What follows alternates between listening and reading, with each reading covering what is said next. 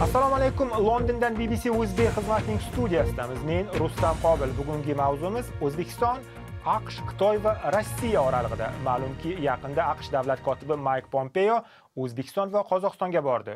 Men hozir janob pompeoning vashingtondan voizi morgan ortegis xonim bilan video muloqotdaman demak ortegis xonim katta rahmat. Thank you. It's great to be with you. ushbu safari davomida aqsh vakili dunyodagi barcha davlatlarni xitoydagi bir milliondan ko'proq musulmonlarga yordam berish uchun aqsh tarafiga o'tishga chorladi We discussed trafficking in persons and the plight of the more than 1 million Uyghur Muslims and ethnic Kazakhs. Biz Xitoy Kommunist partiyasi tutqunlikka tashlagan 1 milliondan ko'p Uyg'ur va qozoq musulmonlari taqdirini gaplashdik. Bu zulmni zudlik bilan to'xtatish uchun barcha davlatlar bizga AQShga qo'shilishini so'raymiz. aytingchi o'zbekiston va qozog'iston rahbarlari aqsh davlat kotibining bu chaqirig'iga qanday javob berishdi? Menimcha davlat kotibi eng zo'r fikrlarni o'rtaga tashladi. Markaziy osiyoning qayeriga bormaylik. U o'zi uchun juda muhim mavzu e'tiqod erkinligi masalasini ko'tardi. Janob pompeo xitoy kommunistik partiyasi hozir musulmonlarga qarshi qilayotgan ishlari borasida ochiq gapirib kelmoqda.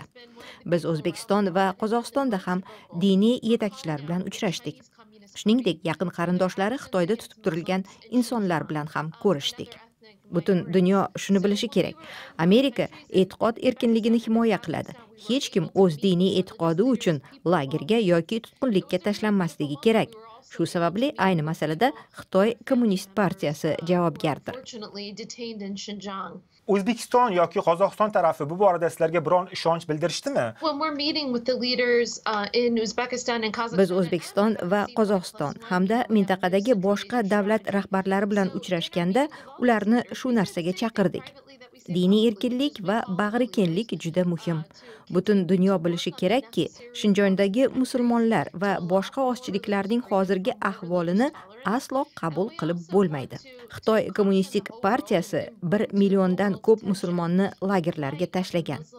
Eng achinarlisi musulmonlarga qarshi dahshatli ha dahshatli jinoyat borasida dunyo yetarlicha bong urmayapti.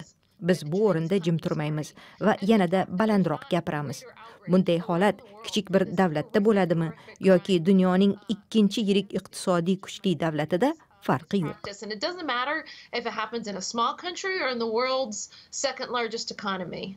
O'zbekiston va qozog'iston rahbarlari bugun aynan demokratiya va inson huquqlarini tanlashganining biror bir ishoralarini berishdimi?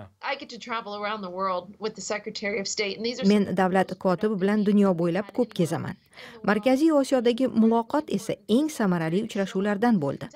Davlat kotibi yangi markaziy osiyo strategiyasini kuchaytirishga harakat qilmoqda. Biz bu davlatlarning suverenligi va hududiy yaxlitligiga ishonamiz qozog'iston va o'zbekiston mustaqilligini hurmat qilamiz. Ishonamizki mintaqa rahbarlari o'z mamlakat va xalqlari uchun manfaatli qarorlarni qabul qilishadi. Biz nima derdik? Siz rossiya yoki xitoyga qaram bo'lishingiz shart emas. Aqsh sizning yoningizda. Siz o'z suverenligingiz va mustaqilligingizni rivojlantiring. Biz yoningizda turamiz. Mana xitoy markaziy osiyodagi eng yirik sarmoyadorlardan biri va o'zbekiston qozog'iston turkmaniston iqtisodlariga milliardlab dollar kiritmoqda. Bu o'rinda amerika qo'shma shtatlari xitoyga bas kela oladimi? Look at things like the Belt and Road Initiative. xitoy kommunistik partiyasi olib chiqqan bir belbog' bir yo'lni olib ko'raylik. ularning darajasi va qarz berish usullari amerikadan farqli albatta mintaqa davlatlari juda aqlli va ular o'zlari uchun eng foydali qaror qabul qilishga qodirlar. Markaziy osiyo davlatlari bilan 30 yillik munosabatlarga egamiz. Bizda gurkirab rivojlanayotgan va kuchli xususiy sektor bor. Aqsh xususiy sektori qozog'iston va o'zbekistonda ko'proq biznes qilishni istaydi. Agar amerika shirkatlari kirib borsa odamlar aqsh shirkatlari biznes yuritish darajasidan juda mamnun bo'lishadi. Bu dunyoda tengi yo'q axloqiy va qonuniy jihatlari o'ta yuqori biznes tajribadir. Bu biznes tajriba barcha hamkorlarni himoya qilishni kafolatlaydi. Kommunist partiya bilan biznes qilsangiz bunday yuqori daraja va tajribaga ega bo'la olmaysiz You don't have that same those same business standards and those same business practices when you're doing business with the Communist Party. bu yerda aniq bir yirik sarmoyalar amerika qo'shma shtatlari tarafidan gapirildimi ya'ni nima kutishmoqda hozir o'zbekiston yo qozog'iston tarafi aqsh tomonidan olganda American businesses are uh, involved with both economies. hozir bu ikki mamlakatda ham aqsh bizneslari bor o'n yillardan beri yirik shirkatlarimiz ish olib boradi. Albatta hammaning erki o'z qo'lida. Istasa xitoy kommunistik partiyasi bilan istasa aqsh bilan biznes qilishi mumkin. Bizningcha uzoqni ko'zlaganda aqsh bilan tijorat qilish foydali. Lekin ayni paytda xitoy tarafi aniq milliardlab dollar sarmoya kiritmoqda. Aqsh nima taklif qila oladi?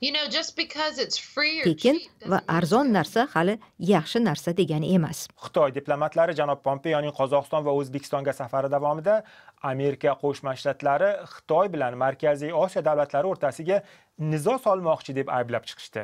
Siz nima degan bo'lardingiz? Ular bunchalik xavotirga tushishi shart emas.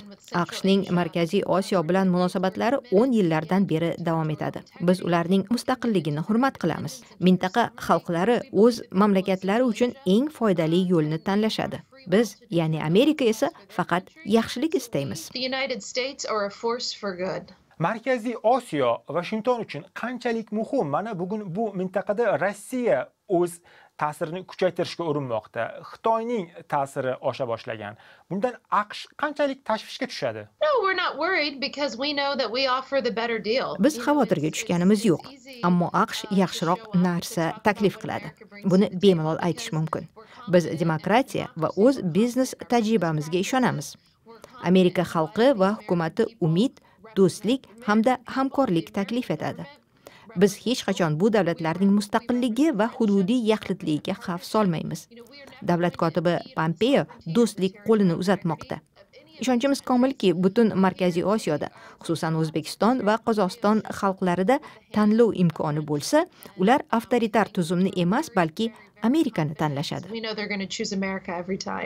Katta rahmat demak vashingtondan aqsh davlat kotibi mayk pompeoning voizi morgan ortegis xonim bilan suhbat edi. Yana londondan bbc o'zbek xizmatida ko'rishguncha xayr.